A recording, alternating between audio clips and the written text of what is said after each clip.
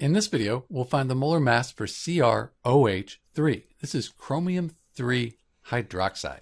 So chromium on the periodic table is 51.99 and the units are grams per mole. I won't write that each time. Let's write that at the end. We have one chromium atom here. Plus, let's just use our parentheses here.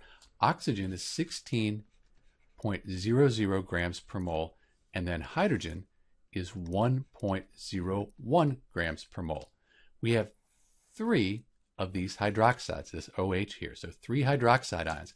We're just going to put a 3 outside here, and then we add everything in the parentheses, multiply by 3, and then we add to this number.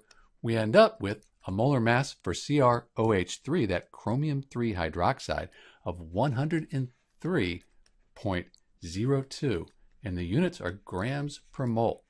That means if we have one mole of CrOH3, chromium 3 hydroxide, it'll weigh 103.02 grams. Note that my periodic table, it goes out to two decimal places.